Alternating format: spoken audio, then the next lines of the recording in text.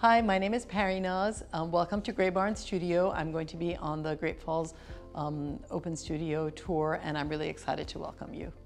I work primarily in acrylic and mixed media and uh, the kind of work I do ranges from still life to abstract painting to incorporating a lot of Persian poetry and calligraphy in a kind of an abstract way.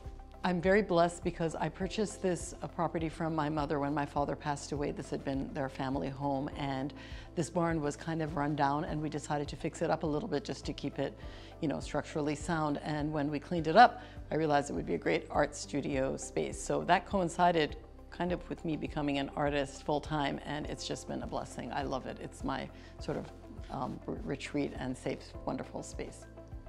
Well, I find that uh, art has enabled me to kind of create a bridge between myself and other people and also the two cultures that are both so powerful and strong inside me. My Iranian side, um, granted I only lived there until I was 14, but Persian poetry I find really speaks to kind of a shared humanity that we all have.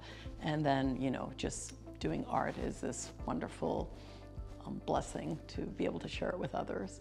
I firmly believe that everybody has a creative gene. Everybody has the desire to create rather than destroy. And it might be something like cooking or knitting or gardening or perhaps, you know, fine art. And people are very intimidated by that. And I think collage is a really great way to kind of get into that. So I'm going to be doing three demonstrations, one every day of my open studio at 4 p.m.